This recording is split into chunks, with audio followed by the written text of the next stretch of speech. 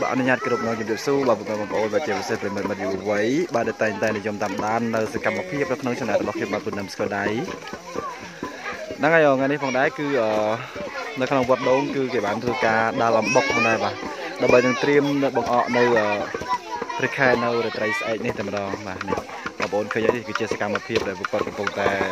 ធ្វើការដាល់អំបុកយ៉ាងមមាញឹកបែកញើសស្រស្រាក់ហើយសស្រាំទៀត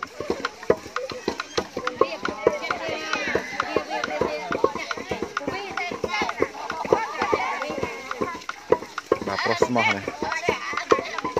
បាទ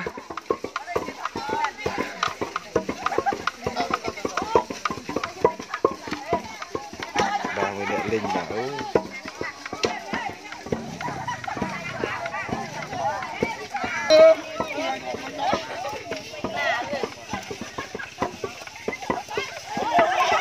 បាទអូបាទជារៀងរាល់ឆ្នាំគឺប្រកបតែម្ដងនេះបាទធ្វើការដាក់អំបុកអញ្ចឹងរាល់រាល់រាល់ឆ្នាំម្ដងហ្នឹងអញ្ចឹងយើងអត់ពិបាកទិញគេទេដោយសារយើងយើងដើរផ្ទាល់ដៃតែម្ដងហ្នឹងហើយអញ្ចឹងបើយើងនៅលក្ខណៈថាទីក្រុងអីគឺអាចទិញគេតែនៅនេះគឺសាមញ្ញសាមញ្ញអញ្ចឹងគឺគាត់ធ្វើការដើរដោយដោយផ្ទាល់ដៃតែម្ដងបាទ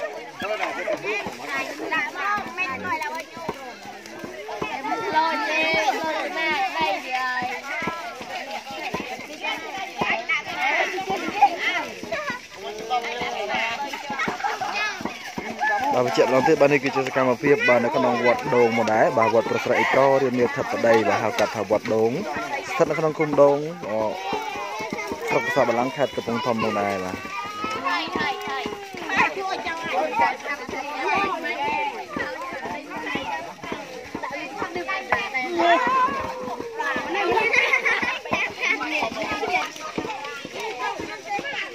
ញូផងដាក់ផ្ទួយអស់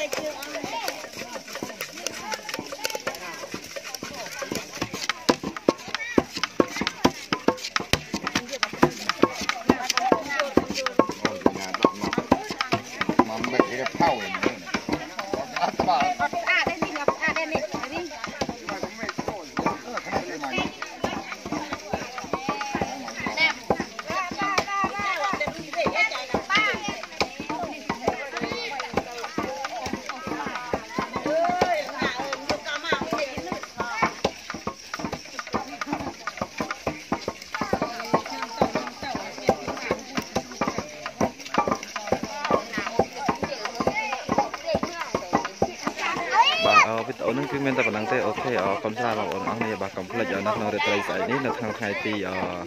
មីនិដាក់ទីម៉ានេះស្អែកនេះចឹងកុំភ្លេចចូលរួមបាទឲ្យបានច្រើនកកនៅក្នុងវត្តពិសេសអេកូរិមេថាបដីហៅកាត់ថាវត្តដូងបាទ okay ចឹងអរគុណច្រើនបាទវីដេអូមានតែប៉ុណ្្នឹងទេបាទអរគុណទាំងអស់គ្នា bye bye ជម្រាបជួបគ្នានៅវីដេអូក្រោយទៀតបាទ